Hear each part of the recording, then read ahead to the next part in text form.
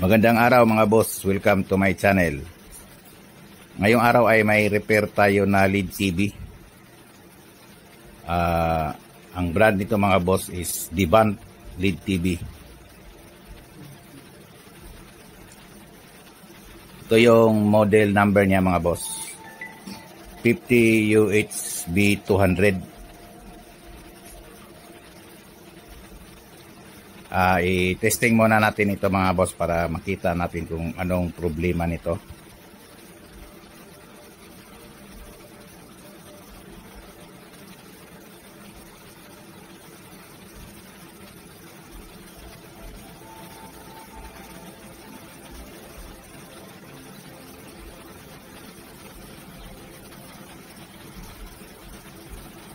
Ayan, may standby power siya i-on natin sa remote.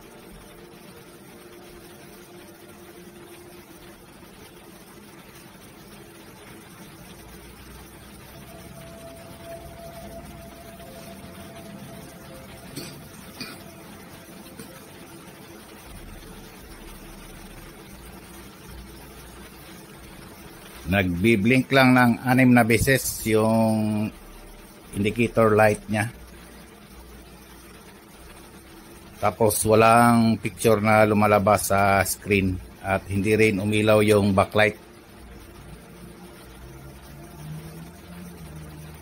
Ito yung problema niya mga boss.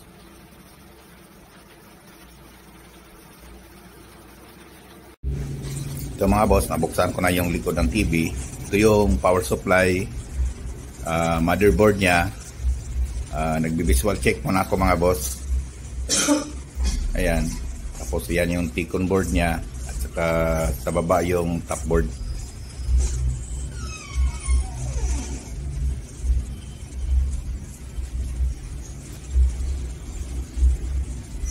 May napansin lang ako dito sa kanyang power supply. Itong capacitor niya, yan. Medyo lumulobo na. Yan mga boss, kung titingnan mo yan ng ano, malapitan yan. Lumulubo na yan. Kailangan na yan palitan mga boss. Tapos yung backlight nito uh, duda rin, na rin ako. Kasi hindi na umilaw yung backlight. I-check ko rin yung ano mga boss. Yung lead driver nito at saka yung mga lead mismo. Ayan mga boss. Ito mga boss ito yung ticon board nya uh, Kinunan ko na rin ng data ito, nagbo-voltage check ako. Uh, tininan ko yung mga pangunahing test point niya mula sa BIN, BGH, BGL, BDD. Halos lahat kompleto naman mga boss. So, ibig sabihin, uh, walang problema dito sa kanyang Ticon board. Yan mga boss. Tapos, dito na lang ako magpupuko sa kanyang power supply. Yan sa secondary at saka yung lead driver niya at saka yung mga backlight ito mga boss, natanggal ko na yung isang kapasitor. At ang value niya is ano 1000 microfarad 25 volts. Ah, uh, i-check ko yung ano nito mga boss, yung capacitance niya. Kung okay pa ba yung capacitance nito.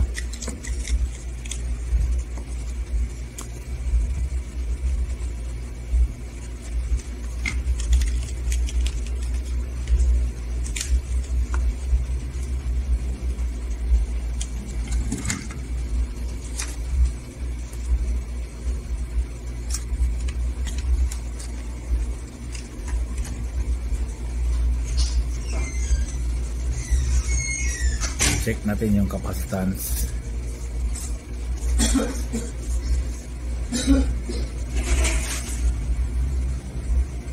Nasa 160 microfarad na siya mga boss. Uh, ibig sabihin ano na? Uh, sira na itong kapasitor mga boss. Uh, mababa na masyado yung value niya. Ayan mga boss Ito mga boss, napalitan ko na ng limang kapasitor. Sinali ko na rin itong isa. Bali 50 volts na sila lahat. ah, tinaasan ko kunti yung voltahe para hindi siya lulubo agad. Ah, ngayon, i-testing ko muna ito kung mag-ilaw na bang backlight nito.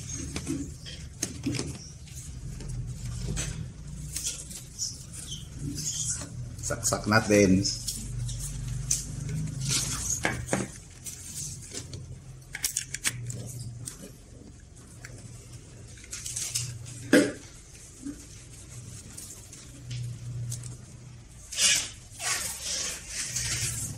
Umiilaw na yung standby.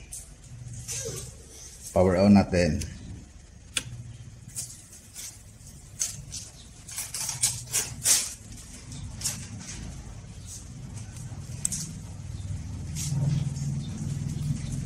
Ayan mga boss, nag-blink pa rin siya. Tingnan natin kung may picture na ba.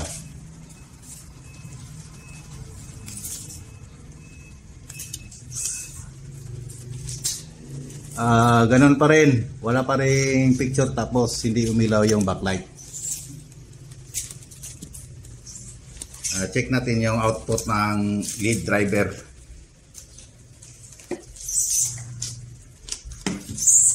Ito mga boss, ito yung lead driver niya. Dito banda. Ito yung output papuntang backlight.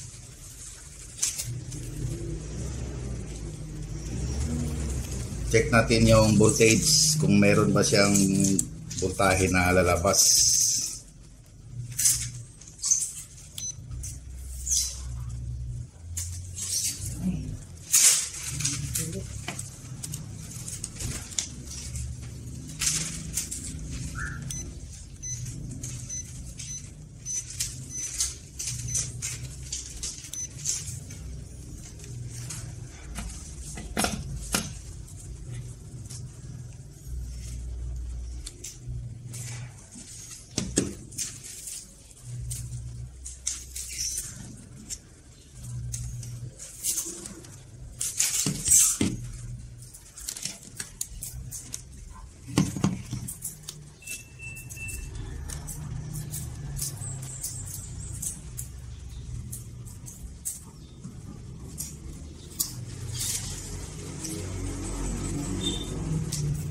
Ayan mga boss, ah 2.9 volts lang yung voltahe niya. Ah, bagsak yung ano, supply ng backlight. Ang ibig sabihin nito mga boss, may na-detect siya na busted dito na ano LED yung backlight niya. Kaya bagsak yung output check ko muna itong backlight mga boss. Ang gagawin ko nito iisa-isahin ko yung leads yung ilaw niya para makita ko kung ilang ano yung ilaw na pundi. Ito na mga boss na nabuksan ko na yung backlight. Ito yung nasa loob. Uh, meron siyang ano uh, labing isang ano strip na LED ito sa dalawa tatlo apat lima anim pito walo siyam sampo labing isa. Sa bawat isang strip meron siyang anim anim na LED yan. 1 2 3 4 5 6 Uh, ngayon mga boss, i-test ko ito isa-isa para makita ko kung saan yung busted dito.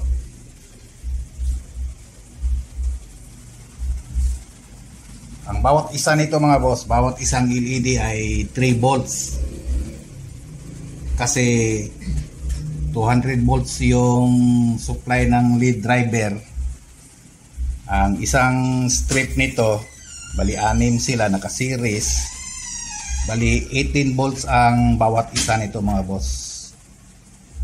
Bawat isang lead strip, 18 volts.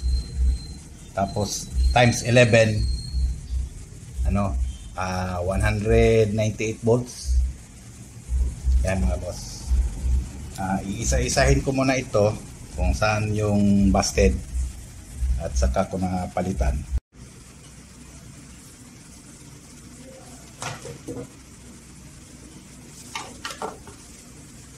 Ito lang yung gagamitin natin na tester mga boss.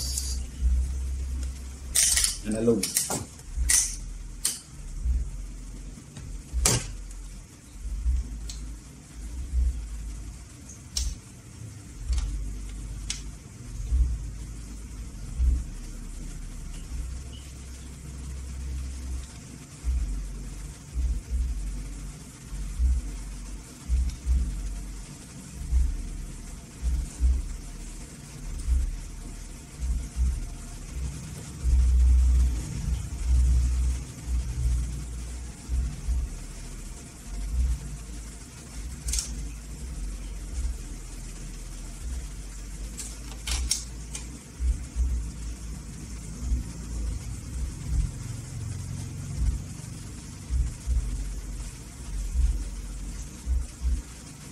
Ito, busted ito.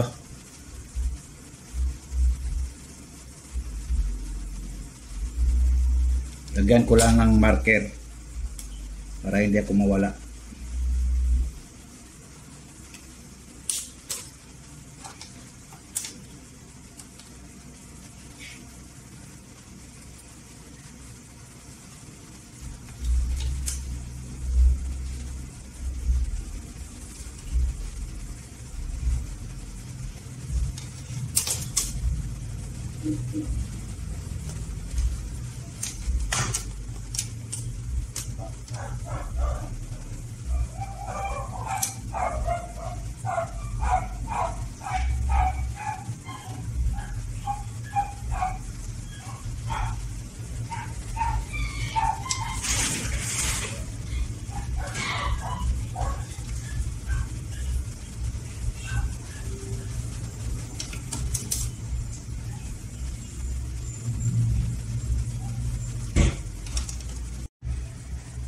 Ito mga boss, ah, may nakikita kong anim na busted. Ilagyan ko ng marker ito mga boss. Yan. Yan yung mga busted na LED. Ito. Ayan, may marker yan sa gilid. Para hindi ako ma, ano, malito.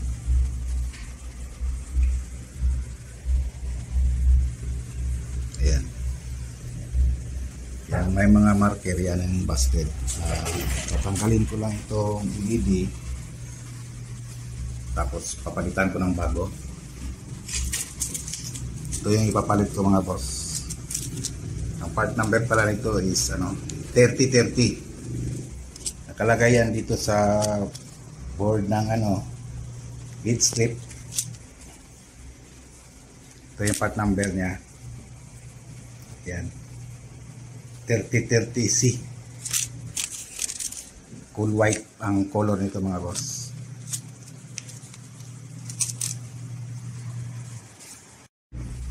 Itong mga natanggal na ano, mga boss, reflector ito. Ah, natanggal na siya. Lagyan ko lang ito ng pandikit.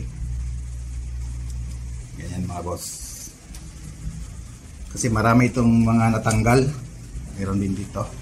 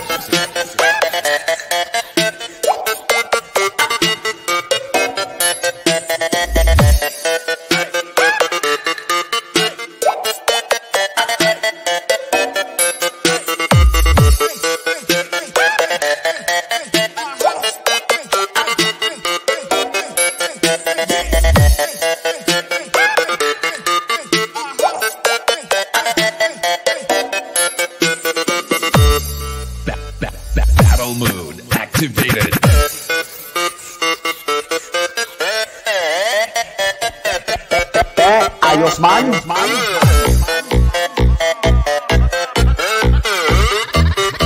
Basta Live, eh. the best.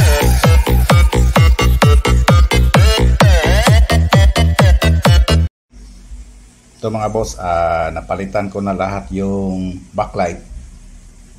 Uh, nabalik ko na rin itong power supply board niya at saka yung motherboard. Uh, ititesting ko muna ito mga boss kung iilaw na ba yung backlight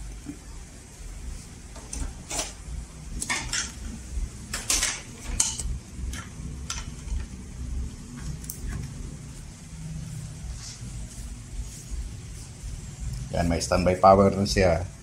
Yaw natin.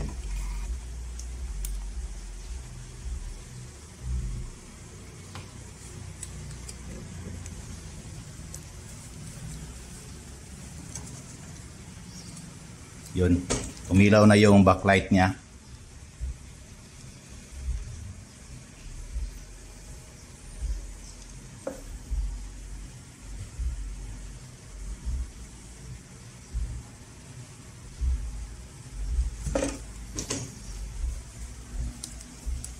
Tapos, kung i-check natin dito sa kanyang lead driver, check natin yung output ng lead driver. Kung ilang voltage yung lalabas.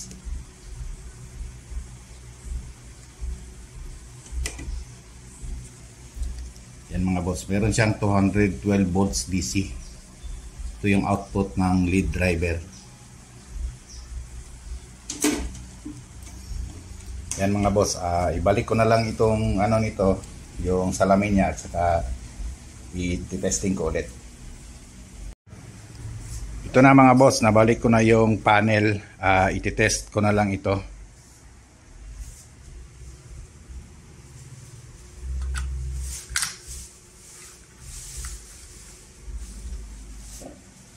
On natin sa remote.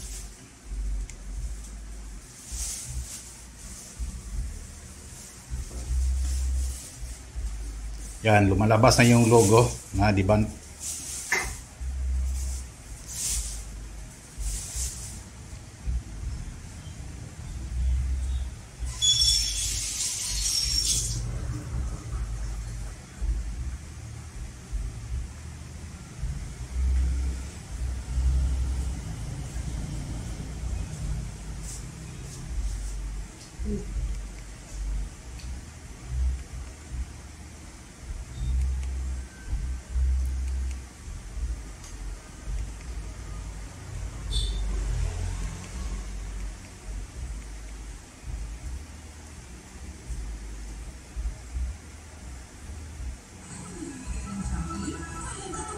Okay na itong lead TV mga boss. At hanggang dito na lang. At maraming salamat sa inyong panonood.